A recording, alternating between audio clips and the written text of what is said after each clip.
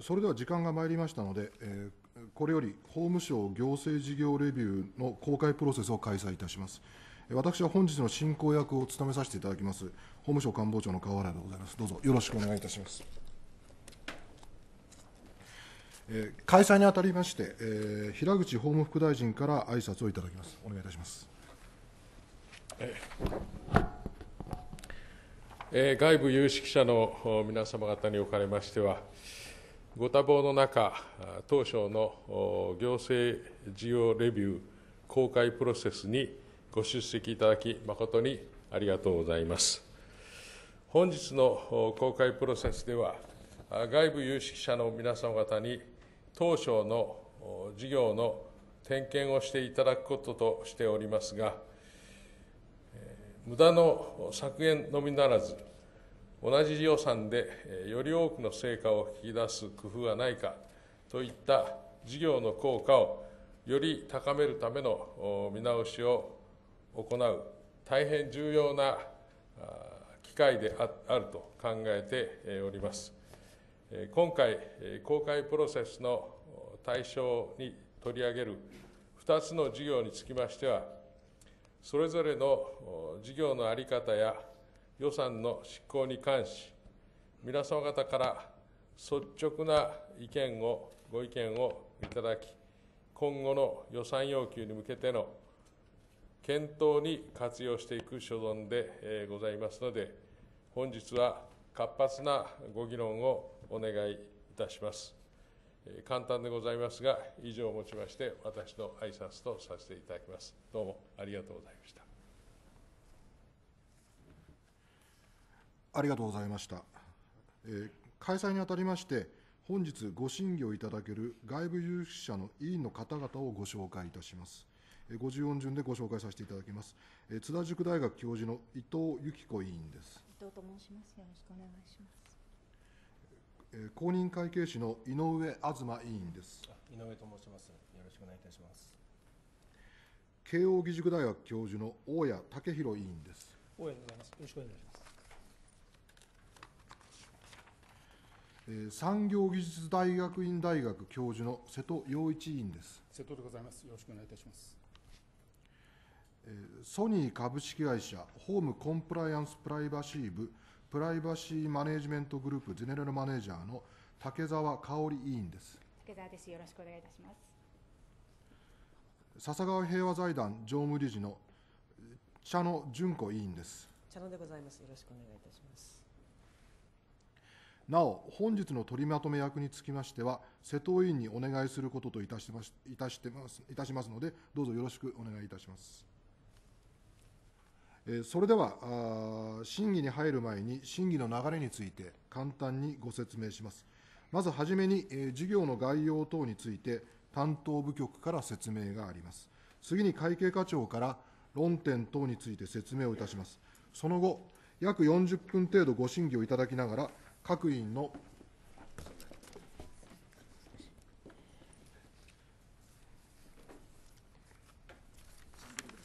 はい、えーその後、約40分程度ご審議いただきながら、各委員の皆様にはコメントシートにご記入いただき、その集計結果に基づき、瀬戸委員より評価結果案および取りまとめコメント案を各委員に提示していただきます。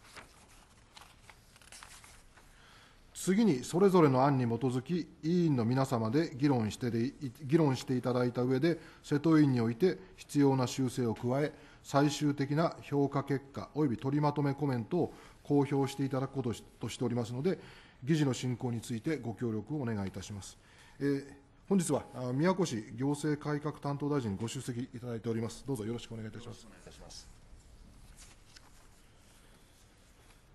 えーそれでは、あ議事に入らせていただきます。まず、議題1の保護観察の実施について審議いたします。保護局保護局からあ5分程度で5分程度で説明をお願いします。じゃあ、お願いします。法務省法務局総務課長の滝沢でございます。本日はよろしくお願いいたします。えーそれではご説明させていただきます。えー保護局の対象事業は保護観察の実施でございます。この事業につきましては、資料1の行政事業レビューシートの事業概要に記載しておりますとおり、強制施設に収容された方の釈放後の生活環境を調整し、その円滑な社会復帰に資するとともに、仮釈放者等の保護観察対象者が実社会の中で改善構成できるように、国の責任において、指導監督及び補導援護による保護観察を行うというものでございます。政府においては、平成24年7月に、再犯防止に向けた総合対策を犯罪対策閣僚会議で決定し、令和3年までに刑務所への2年以内歳入率を16%以下にするという数値目標を設定しました。なお、平成29年出所者の2年以内歳入率は16.9%、これは速報値でございますが、16.9%となっております。この政府の数値目標の達成に向け、えー保護観察対象者の再犯を防止するにあたっては、無職者の再犯率が有職者のさ約3倍であるということから、再犯リスクとなる無職や不安定な就労を防ぎ、適切な就労先の確保と職場への定着によって、保護観察対象者の生活の安定化を図ることが極めて重要でございます。そこで今回の公開プロセスにおいては、保護観察終了時の無職者を減少させるため、保護観察所が民間の事業者に委託して、寄り添い型支援を実施している厚生保護就労支援事業について、より効率的で効果的な在り方という観点からご意見を賜りたいというふうに考えております。なお、この点につきましては、後ほど会計課からご説明いたしますけれども、資料11ページの、えー論点等整理シートのに記載してある論点について、えー私ども保護局の考え方を若干補足させていただきますと、えー雇用基盤整備業務について、平成31年4月1日現在で、えー2万2472社が協力雇用主として登録いただいているところ、今後は保護観察所による丁寧な働きかけ,、えー働きかけを積み重ねることで、実際に雇用いただける事業種を掘り起こしていくことから、雇用基盤整備業務を廃止することを検討しております。他方で、再犯利息を減らす,、ためには、生活の安定、すなわち就労継続、職場定着が重要であることから、新たに職場定着支援業務を実施することを検討しております。さらに、実施庁につきましては、現在実施している18庁に加えて、本日の委員の皆様からのご意見を踏まえ、事業実施の必要性が高く、効果が期待される庁を選定し、実施することを検討しております。次に、先日の事前勉強会で頂戴しました宿題について若干ご説明いたします。まず、資料12ページ上段のポンチエの効果の部分、一番下に効果というオレンジ色の欄がありますが、ここを、ご覧いただきたいと思います。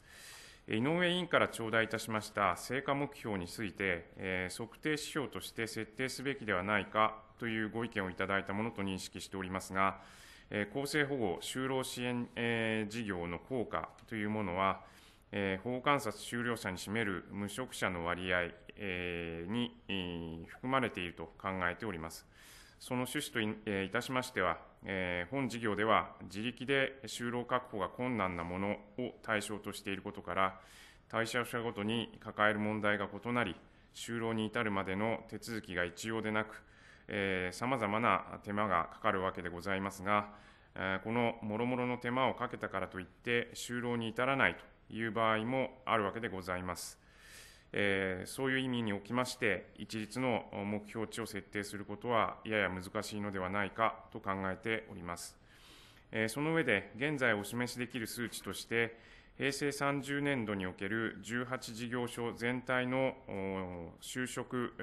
活動支援業務見込み件数に対する就職活動支援開始数の割合を記載しております。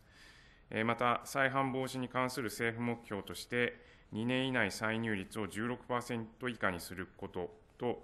えー刑務所出所者等を実際に雇用している事業種数を1500社にすることを記載しております。えー次に、資料15ページと16ページをご覧いただきたいと思います。大谷委員から頂戴いたしました支援対象者属性別の支援の効果について取りまとめたものでございます。え調査結果の概要を、えー、括弧2のあからえに記載して、えおりますが、その中でも、え16ページ一番上のうの、え保護観察の種類ごとの就職率を見ますと、強制施設に収容されていた少年院仮退院者や仮釈放者の就職に、厚生保護就労支援事業が有効であることが分かります。またその下の絵の、えー罪名ごとの就職率について見ますと、すべてのカテゴリーで総合的就労支援対策の支援対象者と同等以上の成果が認められるものの、覚醒剤取締法違反等の就職率がいずれも低いことについて、さらに分析を行う必要がある、えーいうふうに考えております。このように、え犯罪者で、え自力での就労確保が困難なものという、一般的に考えて就労に向けて相当にハードルの高い方、え特に総合的就労支援対策の支援では不十分な方に対して、就労支援員が対象者の意向等を丁寧に聞き取ったり、あるいは今後の生活の展望についてアドバイスをしたり、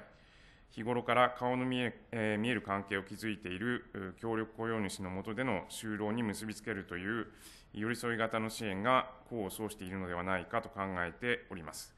法局からは以上でございます。次に本,、えー本案件の論点等について会計課長から説明をお願いします。えそれでは論点として考えられる事項についてご説明させていただきます。資料の11ページの論点と整理シートをご覧ください。再犯防止については政府全体の喫緊の課題でありますところ、保護観察中の再犯率を比較しますと、無職者が有職者の約3倍であるなど、不安定な就労が再犯リスクとなっております。そのような状況の中で保護観察所においては、新たな就労支援策として、平成23年度から厚生保護就労支援事業を実施しておりますけれども、平成29年12月15日に閣議決定されました再犯防止推進計画において、同事業を活用した就労支援の充実ということが盛り込まれました。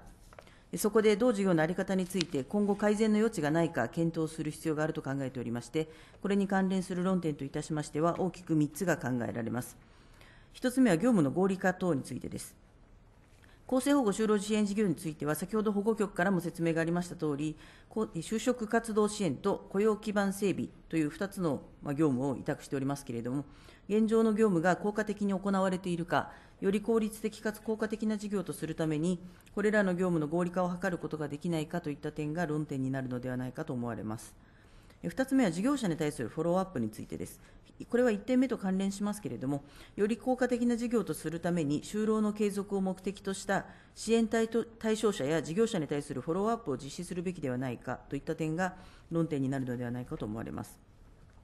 3つ目は実施庁についてついてでございまして、えー同事業が現在、全国18庁で実施しておりますところ、今後の実施庁の展開について、全国一律で実施すべきか、あるいは近年の保護観察事件の減少等を踏まえた実施庁とすべきかといった点が論点になるのではないかと思われます。もとよりこれに限られるものではございませんけれども、以上が保護観察の実施に関してえー論点になるのではないかと思われているでございます。以上でございます。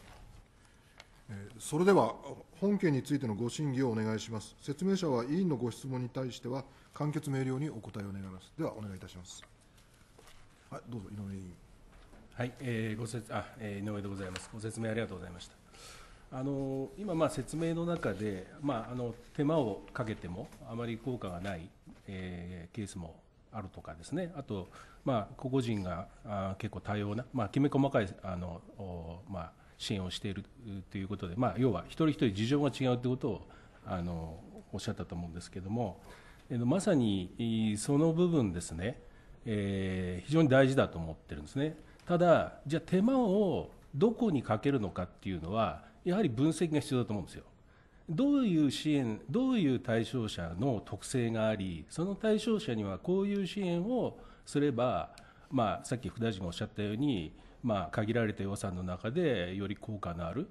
えー、政策ができるのかっていうのは、まさにその前提がないとですね、ただ手間がかかるから、これはで効果がありませんっていうんでは、あのあまりにも次のステップに進めないので、ままずどういうやり方が効果があるのかっていう研究、それには特性が必要だと思います。であのもうそれは政府の中でも、まああのまあ、私のあの理解ではあの了解されていると思ってます。というのは、この再犯防止推進計画を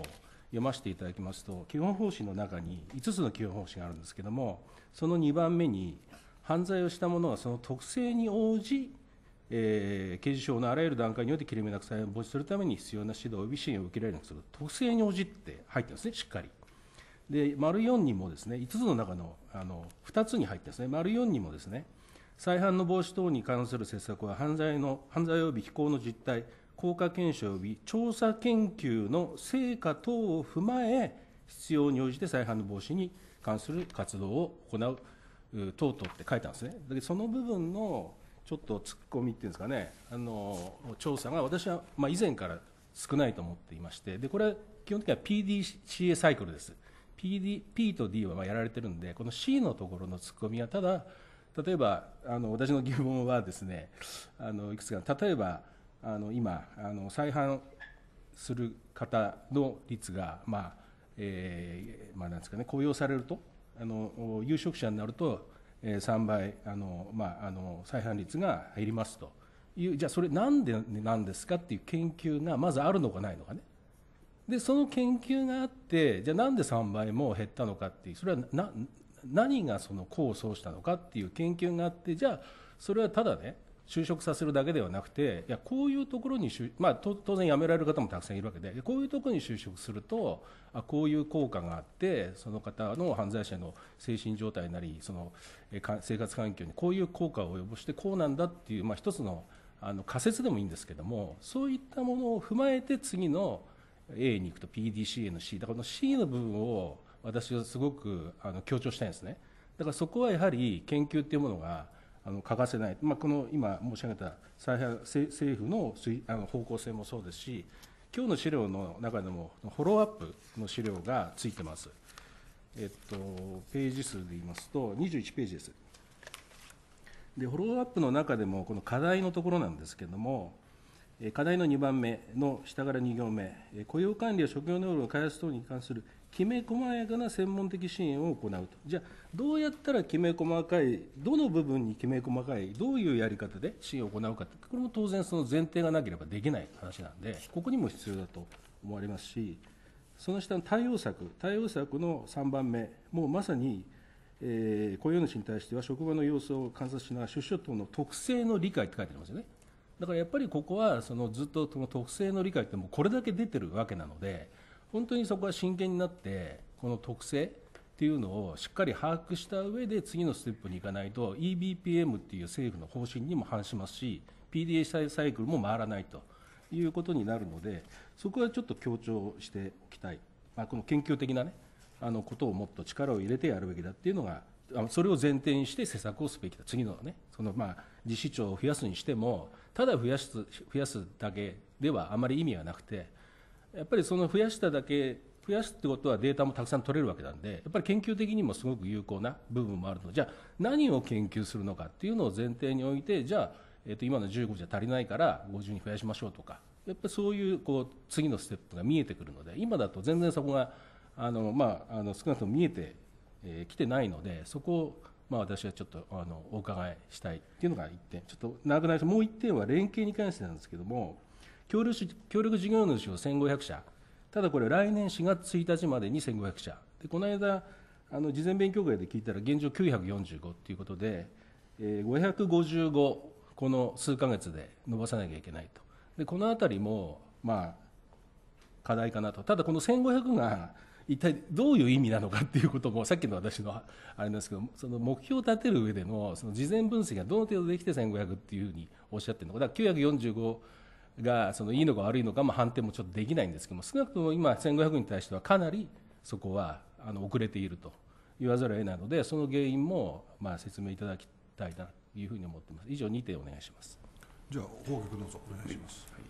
えーまず第1点目でございますが、確かに、えー井上委員ご指摘の通り、あの若干ですね、その研究部分が足らなかったというのは、私ども反省しているところでございます。で、これ、非常にですね、あの多様な要素、変数が非常に多いんだと思います。ですので、特性というと、まあ、あの一言で言うと簡単なんですが、あの突っ込んだ研究をすると、かなりいろんな要素で考えていかなきゃいけないというふうに、えー思っております。ちょっとこのやり方についてはまたあの工夫をさせていただきたいというふうに思います。それからあの1500という目標ですけれども、あのこれは、まあ、特にその特性云々ということで、えーを考慮して設定されたというよりは、えー当初のその目標設定をした時の、えー実際に対象者を雇っておられる協力雇用主さんが、500をちょっと切っていたような数字であったと記憶しております。で、それを、まあ、もっと増やそうということで、3倍と、それの3倍にしようということで、1500という数字が出てきたというふうに認識をしております。で、ちょっとこの決め方がどうかという問題はあろうかと思いますが、えー数値目標、とにかくまあ増やすというあの目標をちょっと高めに掲げてですね、一生懸命取り組もうという趣旨ではないかというふうに考えております。復元をさせていただきますと、えー、とまさにあの委員ご指摘の通りでございますけれども、それを踏まえましてですね、えー今年度、そういったその要因分析を本格調査、研究をすることとしております。えーそれからもう一点なんですが、これは民間の動きとして、えー今まで蓄積してきたノウハウの一般化、体系化、理論化というものについても重要ですので、これはあの民間の動きとしてそういうのがある、我々はそれをですね、えー支援をして、まあ、共有を図っていくということを今考えているところです。これも今年度中にやるということにしております。よろしいですか？えあのじゃあ簡単にあのまさにもうあのなんですか枠組みというかそのまあなんですかね、えー、と形式から実質へっていうまさにあのそういったこう今あの、まあ、変化する変化点にいると思いますのであの、まあ、数を追うっていうあのことももちろん大事なんですけどもやっぱり質にちょっとあのウエイトのかけ方が少しあの少ないんじゃないかなっていう感じがしますので引き続きよろしくお願いします。えっと、じゃあ、他の委員の、じゃあ、伊藤委員どうぞ。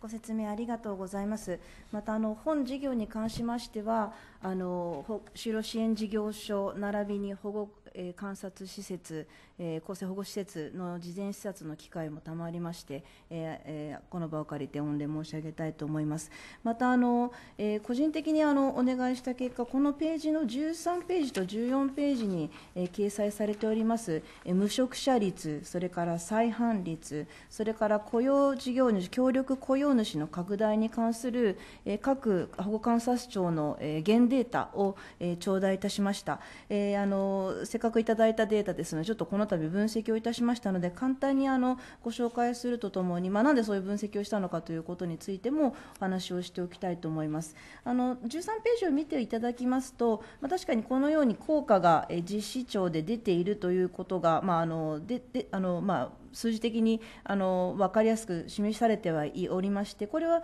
これで重要なデータだと思いますが、ちょっと解釈に気をつけなければいけない点が、まあ、3点ほどございます。1点目はこちらが平均値のデータであるということです。つまり、えーいくつかの庁をまとめて平均を出したものであるので、まあ、分散がどの程度であるかによって、この差がまあ統計的に優位であるかどうかまでは判断ができないということ、えそして2点目、え年次の効果があり得るということです。え年次とともに例えば雇用状況が改善しているとともに、え事業も拡大していると、そうすると事業の拡大の効果であるのか、単に年次の効果であるのかがわからないということ、でそして3点目に、まあ、地域の効果といいまして、えまあ、地域別にまあ雇用情勢が良いところと悪いところとあるので、それもあのこういった結果に、え影響を及ぼしうるであろうということが考えられますので、まあ、今回、回帰分析、まあ、左脳差の分析という、えーあの一般的な統計手法を用いまして、あの分析をいたしましたところ、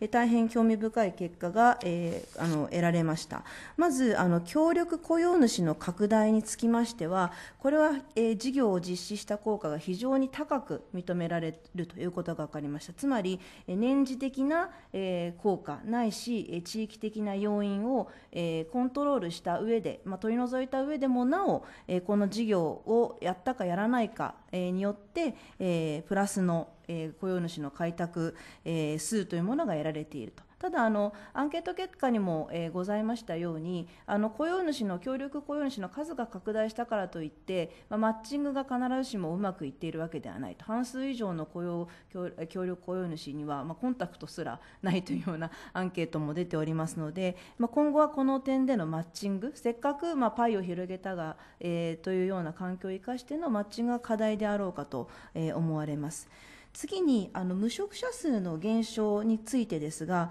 これはあの、えー、年次的にやはりあの雇用状況が改善するとともに無職者数は減っている、えーえー、おりますが、その年次の効果を取り除いても、なお優位に3%程度、えー、減少、えー、つまり無職者を減少させる。効果があるということが、え、示されております、まあ、ただしあの地域の効果を入れてしまいますとちょっとこの優位さがなくなりまして要はあの事業を実施しているのがそもそもあの無職無業者数がつまり規模の多い、えー、規模の大きな保護観察庁から実施している。つまり、まあ、どちらかというと都市圏の、えー、事業庁から、えー、実施しているということでそのような地域効果つまりあの、まあ、雇用、まあ、引き取り手がというか協力者が比較的あの多い地域からやっていることの効果ということであのある程度相殺はされるということが分かりました。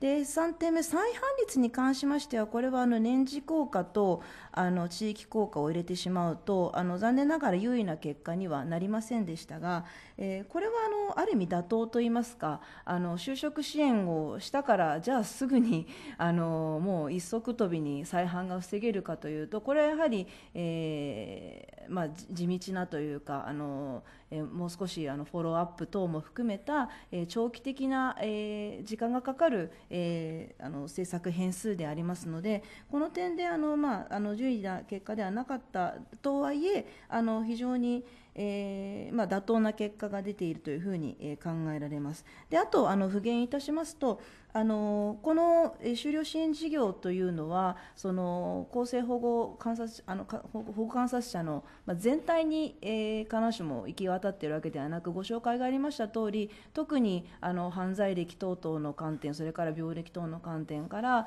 えー、終了支援が著しく困難であるとつまり難しいケースを、まあ、あの外部委託というかあの委託をして、えー、やっている中で全体の中では16%視察した横浜では10%に満たない、えー、数の,、まあえー、監査あの対象者しか受け入れられないという、まあ、制約がある中では、えー、非常に全体に対するインパクトを与えている、えー、結果が出ていると考えられていますのであのこうした支援を、まあ、より拡大していくというか、あのまあ、効果があまあ、だんだんいろいろ広げていくにつれてコストがコストパフォーマンスという点ではあの難しい点も増えてくるかと思いますがこの事業をやはり継続して根気強く、取り組んでいくことが必要ではないかという、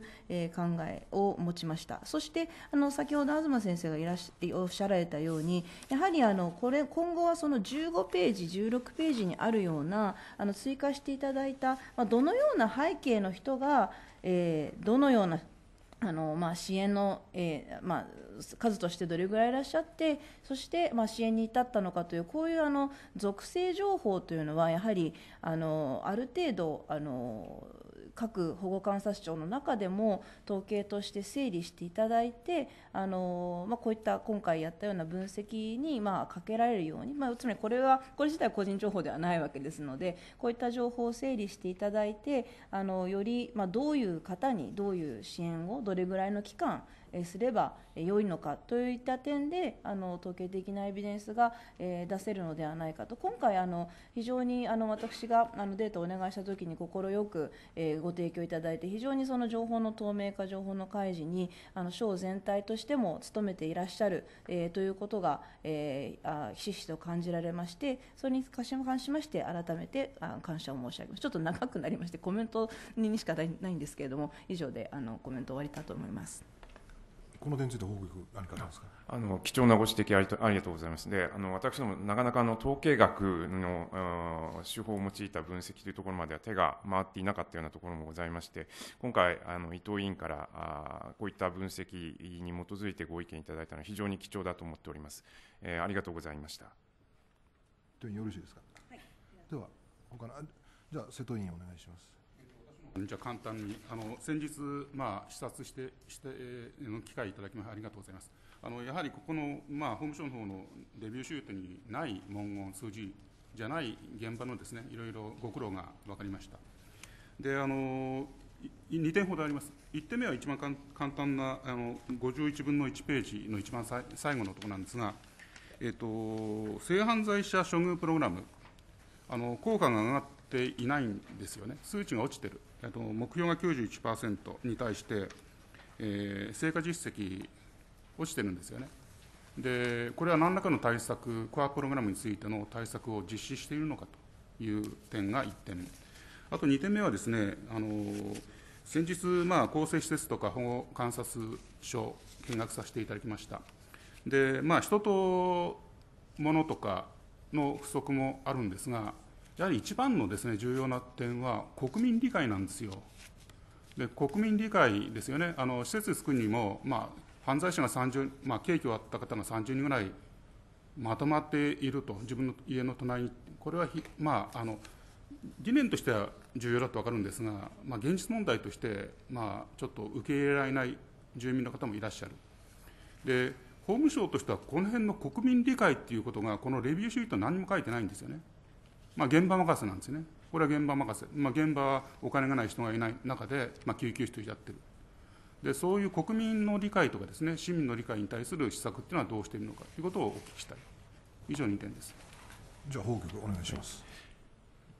すみませんあのまず1点目お答えしたいと思いますけれどもあの性犯罪者の処遇プログラムでございますけれどもあのちょうどこの本年度からその性犯罪者処遇プログラムの改定に向けた今調査研究をまさにさせていただいているところです。であの趣旨としましてはあのプログラムを策定をしてからですねもう10年以上経っているところでございましてそのこのプログラムの基盤となっている認知行動療法の考え方これのまあ理論のですね最新版にこうアップデートするための今まさに調査研究をしているということでございまして、えーそれを踏まえて新たなプログラムを作って施策に取り組んでいくということを今考えているところでございます。今からっていうのは、えっとまあ本年度調査研究をして、えーその新しい理論モデルをまあ導入していくと。でそれを踏まえてこの法務省ですあの法法観察の中で使えるプログラムにアップデートしていくということを考そういう問題意識はなかったんでしょうか、まあ、デジタル社会がはあの起こりまして、いろいろな、まあ、社会的な事情も変わってきますよね。えで、この数値見てて、3年連続落ちてるわけですよね。で、現時点で、まあ、あの問題意識持つんじゃなくて、もうちょっと前に持つべきじゃなかったんでしょうか。あのまさにそれはあの委員おっしゃる通りだと思いますけれども、いろんな施策のそのすみません優先順位とかあの状況もございますので、それを踏まえて今の時期になっているということでございます。で次にあの2点目あの国民の理解の関係でございますけれども、これはその先生方もそのご案内かどうか分かりませんけども、法務省が主張しまして、あの社会を明るくする運動というのを実施しております。で今年あの69回目で、まあ、来年70回を迎えるわけですけれども、おなんだそれってこう今、先生方思われているのが、それがまさに今の国民の皆様の認知度だというふうに我々理解しているところでございます。であのそういったその社会を明るくする運動といったものを地域の中で、えー行っていくことで、えー先日ご覧いただいたその厚生保護施設の関係もそうですけども、お地域の人たちにあの立ち直りをこう支えるそういう活動が大切なんだっていうのを、まあ、地道にですね訴えてご理解を求めていくということをやってるわけでございますけどおえやってるわけでございますけど、まあ、それについては、まあ、この行政事業レビューの中にはあのなんて言います？測定指標として項目としては入ってないというのは事実の通りでございます。重ねましてですけども、あの今の私どもの個々の取り組みとしてですね、あの再犯防止推進法に基づきまして、今あの、地方自治体の方に、地方における再犯防止の推進計画というのを策定をお願いしているところでございます。でこれに基づきまして、まあえー市民の方々、地域の方々に、まあ、この事業の大切さですとか、えーまあ、私どもができる支援といったものを盛り込んでいただくということで、働きかけをしているところなので、えーまあ、もちろんこの就労支援で、えーその事業者さんの理解の拡大ももちろんなんですけども、そういった、まあ、多方面からの働きかけを今、やっているところということでご理いやあの解いただきます。例えばね、まあ、理念として重要性分かってるんですよ、国民は。ただ、自分の家の隣に、あの刑期を終わった30人のですね、例えば犯罪者だった人たちがいることに対して、やっぱりなかなか難しい問題になりますし、職場でもですね、あのやはり犯罪者の方が来た場合、どういう影響があるかとか、まあ、具体的に心配があると思うんですよ。だそういう個別の草の根のところをクリアしないと、国民の理解っていうのは得られないんじゃないかなと思いますけども。まさにおっしゃる通りだと思います。あの私どもあの地道にあの民間の方々と手を携えてやっていきたいというふうに思います。これは理念じゃないんですよね、はい理念はみんないいことだと分かってるんですよ、全員、ほとんど国民が。ただ現実問題として、どのように受け入れるかっていうことを、もうちょっとですね、なんか自治体交えて、えー検討していかなきゃいけないんじゃないかなというふうに思います。だからそれが明示的にこの中に書いてないっていうのは、ちょっと問題じゃないかなというふうに思います。あのご指摘ありがとうございます。あの持ち帰りましてまた引き続き検討差し上げたいというふうに思っております。瀬戸委員よろしいですか？他にじゃあたあの竹澤委員それから社能委員の順次お願いいたします。はい、ありがとうございます。はい、あのこの事業はあのとてもあの意義の大きいものだと思います。ぜひ引き続き継続してやっていただきたいと思っております。で、その中でちょっと3点ほどあのコメントとあと質問がございます。で、一つはあの先ほどあの、えー井上委員ですがごコメントございましたけど特性に着目してあの、えーそういったあの分析を通じてあの対応していくというのはとても大事なことだとは思いますけれどもあのいただいている数字を見ますとどのカテゴリーにおいてもあの就職率としては上がっていらっしゃるというところがありますので、まあ、あのその特性を生かしてその支援をしていくというのは大事ですけれども特定のカテゴリーの方だけを対象にするというような形というのは望ましくないのではないかなとは思います。でそれが一つ。でそれからもう一つがですね、えー、と20ページにあるあの保護観察終了時の無着者数の割合で自治庁と自治庁以外のところというところのあの率のあのたえーがえーいただいているんですけれどもあの症状数を増やしていくかというところに関しまして、えーあのこちらを拝見させていただくと、えー自習していないところでもすごく低いところというところがございます。ここが、まあ、どうしてうまくいっているのかというところの分析というのをしていらっしゃるんじゃないかと思いますのでそこをもしあの、えー理由を把握していらっしゃったらそこを教えていただきたいということとやっぱりこういったそのうまくいっているところは何分うまくいっているのかあのうまくいってないところそういう意味ではその自治庁の中でもあの若干あの、えー率が高いところとかというところもございますので、えーそこの分析というのをよくしていただいて、えー生かしていただくとでその今後のその自治庁のあの検討をしていただく上でもそこの中の分析結果を生かしていただくとよろしいのかなと思います。で3点目なんですけれども先ほどあの、えー、と定着支援の方に切り替えていくということをがおっしゃいまっていただきましたけれども、私もその方向があのとても良いことだろうと思います。で、そういったところで定着支援をしていくというところは比較的長期の話になっていきますので、今回あのえっと基本的に委託事業については単年度の契約というふうに伺っておりましたけれども、あの複数年あるある程度の長期的なあんな形であのお願いしていくのもよろしいのではないかなと、でその時に大事なのは、やはりどうやって目標値を設定するかというところだろうと思います。目標値を設定して、そこをきちんとモニターしていく、場合によっては契約を見直すといった、そういったあのところを入れながらも、複数年を確保させていただくというのも、一つ検討していただくとよろしいのではないかなと、その3点です。じゃあ法局のお願いします。えー、とまず1点目の特定のカテゴリーだけの方だけを対象にと、えー、で確かにあの竹澤委員おっしゃる通りだと思います。ただあのなかなかあのやはり予算もかかるというところもございまして あの若干あの不十分な部分はございますけれども現在はあの就労が特に困難という方をまずそこから手当をするというところで、えー、また必要があればもう少しその範囲をですねあの広げていくというようなこともですねあの検討してまいりたいというふうに考えております。それからあの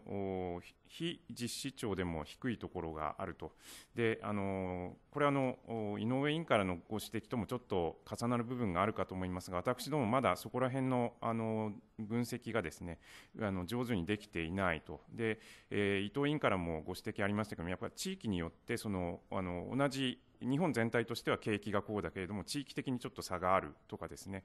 あとあの、やはり協力雇用主の方々あの、非常に小規模な事業者の方も少なくないので、えー、たまたまそこが空いてるとか空いてないとかっていうところもあの影響してくるかと思います。あの若干そういう複雑な要因が絡み合っていくところがあるかと思いますので、えー、これはあの井上委員にお答えした通りですね、今後もう少しそのあたりをよくあの分析をして、でできるだけベストプラクティスに近づけていきたいというふうに考えております。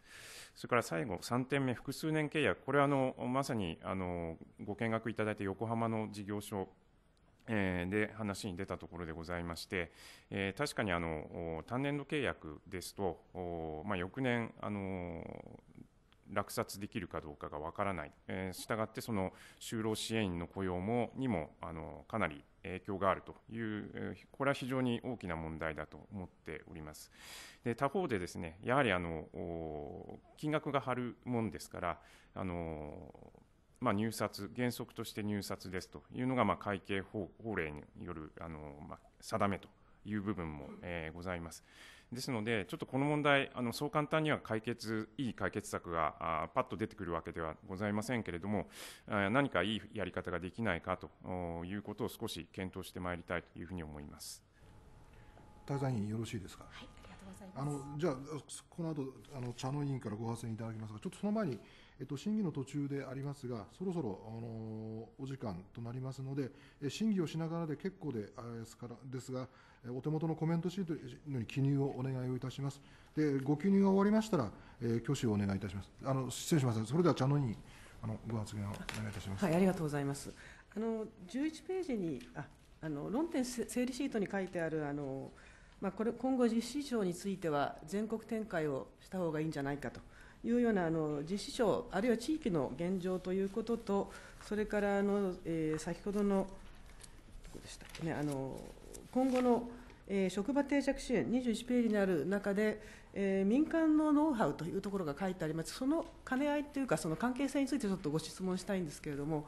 あのまあ、民間のノウハウを生かしたっていうところを書いてあって、まあ、その下にまあ具体的にはどういうことかということも書いていらっしゃると思うんですけれども、あの先ほど来あの、議論に上っている調査結果、あるいはあのどういうやり方であればうまくいくか等のその、え研究をなさっているというその成果をちゃんとその民間に伝達することが必要であるであろうということが一つであってこれから新しいあの地域をもしあの増やした場合にあのそそこの方たちがそこの担当の方たちが初めからすべてやってあのトライアルエラーで学んでいくというよりはやはりそういう調査研究の結果を生かすというような工夫をされるのが効率的な運営ではないかというのが一つと。ただその民間といった場合にその実施省のところにあのちゃんとした受け皿があるかどうかあるいはあのどのような、えー、組織にこのあの、まあ、非常に重要なあの、えー、就職支援であったりそれから定着支援であったりということを任せるべきかというご検討もやはりあの地域だけあるいはその、えー、人数の多さとかですね経済ということと経済的な動向とかそういうことを考えられるのと同時にやはりどういう民間にがあってそこにどういう、えー、ノウハウがあるいは知識等があり実力があってただそこにあの今回の調査結果等をフィードあのフィフィードすることであの効率的なあの運営を目指すと、そういうやり方をされることが、あの一つの事業の効率化にむあの結びつくのかなと思いまして、あの私はあの現在の実施庁だけではなく、やはりこの試みをいろいろなところであの実施されるのがいいと思っておりますけれども、やはりあの効率的な運営ということを心がけていただければというふうに思います。よろしくお願いいたします。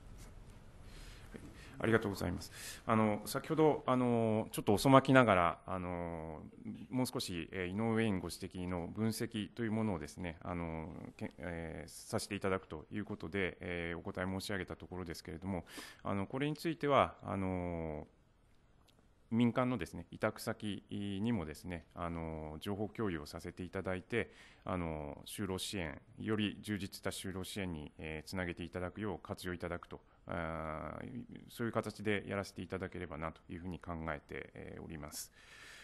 え、それからもう一つ、あのまあ、全国展開というところなんですが、ここはあの私どももあの茶の委員のご指摘の通りで、そのやはりこういうあの民間のノウハウを十分に持った方、まあ、単にマッチンあのマッチングと一言言っても、やはりあの事業者側の事情もよく知っていなければいけないし、就職する側の事情もよく知っていなければいけないと、これ、かなりあの横浜の事業所見ていてであいただいてお分かりの通りあの、かなりスキルが必要なんだというふうに思っております。でそれに耐えうるようなところがないところは、なかなか難しいんだろうというところですので、えー、そういったことも考慮しつつ、えー、やっていきたいというふうに考えております。またもちろんのことながら、あの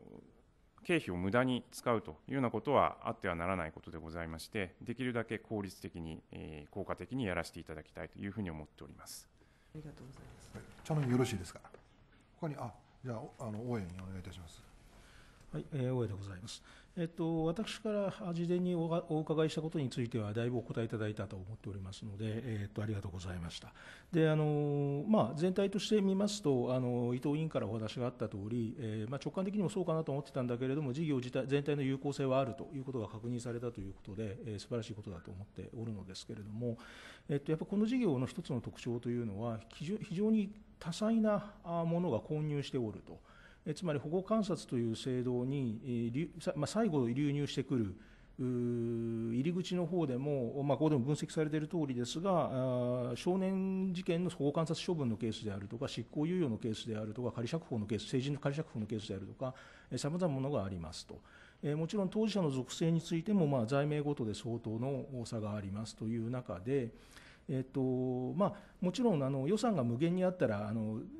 聞きそうなんで全部やりましょうということをやればいいんだと思うんですけれども、残念ながらそうもいかないという事情がある中では、えっと、まず1つ目はできるだけ有効そうなところにこの施策の対象を集中させた上で、無効そうであると、あるいは非常に聞きにくいということが分かったところには別の施策を考える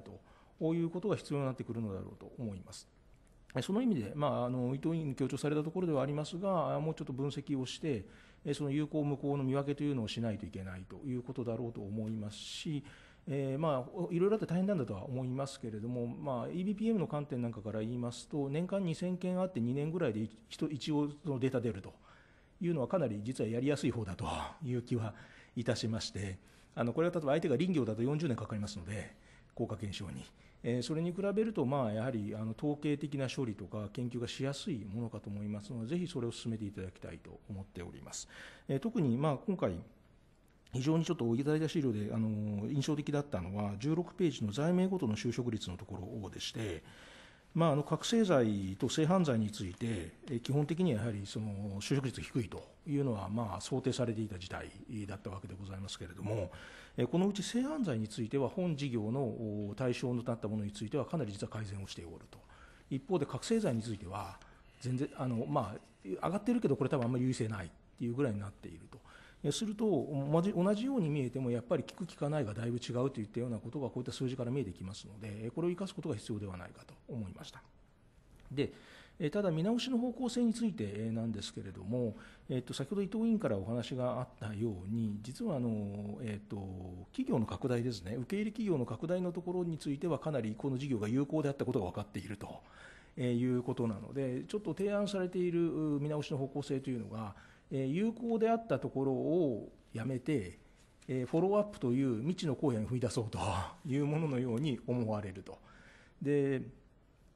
まあ、もちろん拡大がもう一段落ついていて、ここでいいだろうっていう判断であればそれはあり得るんだけれども、本当にそれで良いかということはちょっと考えなければいけないと。もう一つは、えっと、フォローアップもまあ有効だろうと思われるし、有効そうな結果が、例えば、まあ、現地撮影、現地調査見せていただいた横浜なんかでは、あの神奈川県の事業でやっておられるので、結果、ある程度見えていると思うんですね。えー、ただ、その有効性をまあ一応ちゃんと検証していただく必要があるというのと、逆に言うと、神奈川県さんがやっているから、そこにあえて法務省さんが踏み出す必要があるのかといったようなことも問題になってくるだろうと。このあたりは、実はだからあの雇用拡大のところは厚労省さんの事業とも関係があるということも伺ってますので、えー、複数の省庁さんと地方自治体の間でどこをどう担当していくかということについてコンセンサスを作っていただく必要があるのではないかというふうには思っております。あの全体的にはあの繰り返しますが、単なるコメントでに終わりますけれども、あの非常にあの公益性の高い事業だと思っておりますし、有効なことも見えてきておりますので、えー、ぜひあの着実に推進していただきたいというふうに思っております。以上です。はい何か法局のありますか？ご指摘ありがとうございます。えー、まずあの有効なところに資源を集中すべきというのはもうこれはあの全くおっしゃる通りだと思っておりまして、そういった形で進めさせていただきたいと思います。で、もう一つあの、えー、雇用基盤の拡大ですけれども、これはまああの今もう協力雇用主さんが2万2000社ということで、むしろ現実に雇っていただいている方がなかなか伸びないと。いう状況でございまして、えここは、まあ、あの私どもとしては、まあ、これ以上確保する必要は、まあ、もう薄いんではないかという一応の判断を、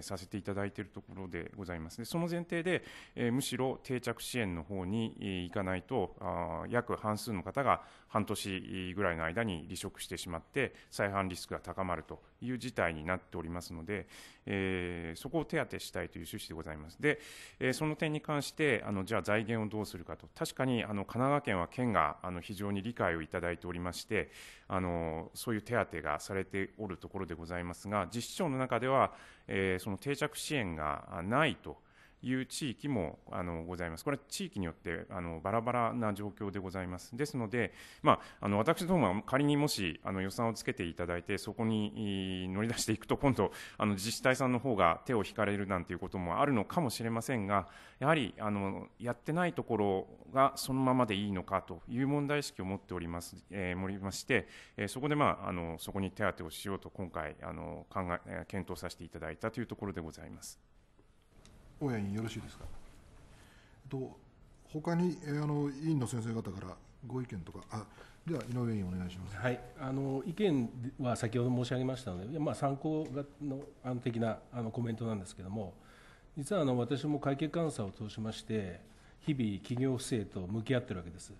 でいかにその企業で不正が起きるのかっていうことは。もう我々監査人、まあ、全国のですね、まあ、世界世界と言ってもいいです。世界中の CPA がやはり真剣に取り組んでおりましてね。でその中の柱としてやっぱり不正のトライアングルっていうのを、まあ、全世界共通で持ってですね。でこれは不正を行う者のその、まあ、あの条件が3つあると。で1つが動機なんですね。で2つ目が機会チャンスですね。で3つ目は正当性。これをやってもいいんだっていう。でこの3つをとりあえず潰すっていうことを、まあ、一つあの考えて一つのだから柱なんですね。この犯罪、まあ、我々の監査する時の。でそれは日本だけじゃなくて世界共通で持ってるんですね。でこれがまあちょっと私はその研究者じゃないのでどういう知見から出てきたのかはあの分かりませんけれども少なくとも私が現場で、えー、この3つのその観点からおかしなところはないかっていうその監査手続きを実施して大体あの収まるんですねこの中で。からそういったような枠組みの中で、まあ、あの非常に多種多様なんで、企業犯罪犯罪というのは、ある意味、皆さん方のその多様な犯罪からすると、まあ、ごく一部かもしれませんけれども、ただ、考え方として、そういうものがやっぱりあり得ると思いますので、ちょっとそこ、まあ、ご苦労だと思いますけどもね、そのさっき申し上げたような研究をもとに作り上げていただいて、それでまたその中で当てはまらないものがあれば、またそれを新たに付け加えたり、減らしたりすればいいので、ただそういったこう何か前提となって、これをとりあえず最低、あのなんですかね、えーと、考えて前前提にして政策っていうのをまあやるとか、まあ、ちょちょっと分かりませんけれども、そういったことがあった方が、多分あの反省もし反省っていうか PDCA サイクルがすごく回しやすいと思うんですよね。でそのまあ、私は実はその動機あの機会、その正当性の観点で、この犯罪者の方々がどどどこに問題があったのかって、本当は実はそこまで知りたいところなんですけど、一体どあの、まあ、機会が多いのか、まあ、動機そのものがもう不純な人たちなのか、でもそれで打つ手は違うわけですよ、やっぱり。だからちょっと、あの実はそういうデータもあれば、まあ、私もコメント、まあであのまあ、できましたので、ちょっとそういうデータがちょっとない中で、まあ今日こういう場に臨まざるを得ないということも含めて、ちょっとあの、まあ、他のあのいろんなあの世界中でいろんな研究がされていると思うので、ちょっとそこも取り入れていただいて、よりあの実効性のある政策につなげていただくとありがたいなと思っています。なんか報告のありますありがとうございます。えー、井上ご指摘の通り、あの犯罪ちょっと多種多様でございまして、いろいろあの要因っていうのがですね、ちょ若干異なる部分があろうかと思います。で、私ども今やっているのは、例えばあのすぐにあの怒りのスイッチが入ってしまって暴力的になってしまう、そういった方の、えー、プログラムであるとか、あと薬物ですね、えー、薬物とかアルコール依存のプログラム、それから先ほど瀬戸委員からご指摘のあった性犯罪プログラム、これはちょっともうあの見直さなきゃいけないということで、えー、今予定しておりますが、そういったいくつかのプログラムを準備してやっているところでございます。まだまだ不十分な点はあるか、えー、あろうかと思いますが、引き続きまた井上委員のご指摘も踏まえまして、あの充実した保護観察にしていきたいというふうに考えております。井上委員よろしいですか？はい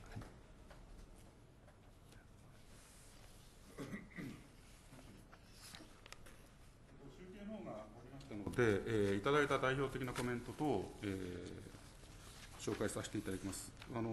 えー、いろいろな表現があるんで、代表的なものを選んで説明いたします。大きく分けて3つほどあります。1点目はですね、この事業は非常にやっぱりあの、えー、有効性がある、有効である。で保護観察の種類や罪名、効果、影響にか、えー、影響し得り、まあ、あの罪名とかですね、えー、保護観察の種類とか、によってあの効果が随分違うと。でそういうところの検証をね、えー、十分した上で、えー、施策を実施するのがいいという意見。でそれと同じようなあのことなんですが、まあ、分析をちゃんとやると、データがいろいろある、だから、えー、研究成果を活用して、より効果的な、まあ、支援内容を策定してほしいということ。あと3点目はですね、えー、連携ということで、他省庁、他自治体あ自治体等との取り組み分担、まあ、協力関係について、えー、明確にして対応するのがいいというような、えー、3点です。で、えー、評価の選択肢の投票については、これはあの全一致で事業内容の一部改善ということになっております。でこの結果に基づき、本事業の、えー、評価結果案は、事業内容の一部改善、それから、えー、取りまとめコメントとしては、えー、事業の、えー、有効性は認める、えー、ただし、えー、種類、罪名などによって、まあ、属性がいろいろ対策が違うあの違う、えー、研究とかデータを十分に、えー、検証してから、えー、施策を策定する。それから横連携ですね、いろんな自治体との連携等を、え、よく考えて対応する、このような3点でございます。えっと、このでいかがでしょうか？委員の方、よろしいでしょうか？じゃあ、えー、当初の案通り、本事業の評価結果は、えー、事業内容の一部改善、で問いまとめコメントは、えーえー、データの分析を十分やり、えー、効果的なあ支援策を策定する。で事業内容については、えー、有効性が認められるで3点目はあの他省庁、他自治体との連携を十分行うということにさせていただきます。この評価結果をコメントまとめてよろしいでしょうか。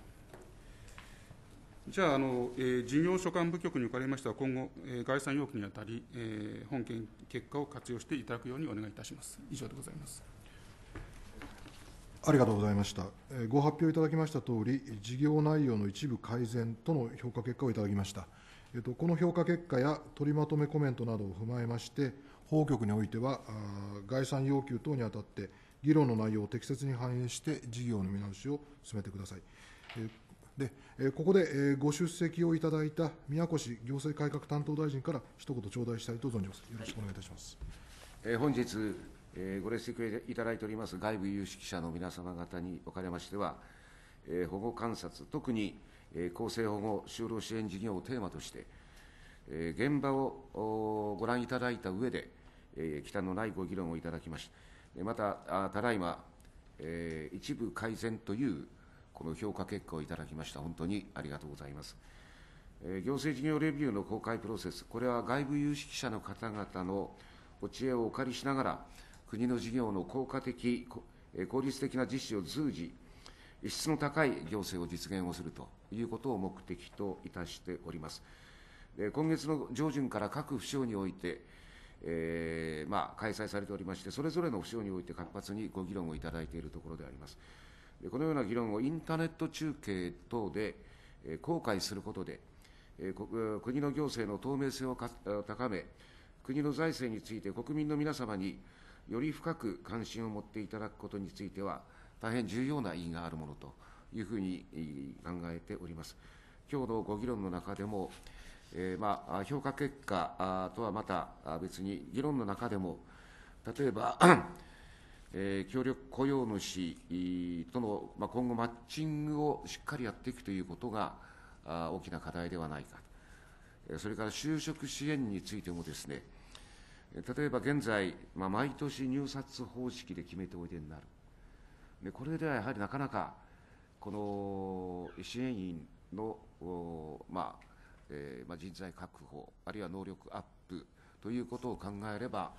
えーもう少し、まあ、複数年で、えー契約ができるような方式を検討されたらいかがでしょうかというようなご提案もいただきました、まあ、そういうご提案も踏まえてですね、あのーあまり形にとらわれずに、えー毎年入札方式、まあ、これは原則かもしれませんが、あのそれにばかりこだわっていては、中身のがなかなか効果出ないということもあろうかと思いますので、まあ、せっかくのご指摘でありますから、あのぜひ法務省においては、あのご指摘を踏まえて真剣に検討していただきたいというふうに考えております。まあ、この後もう一つの事業、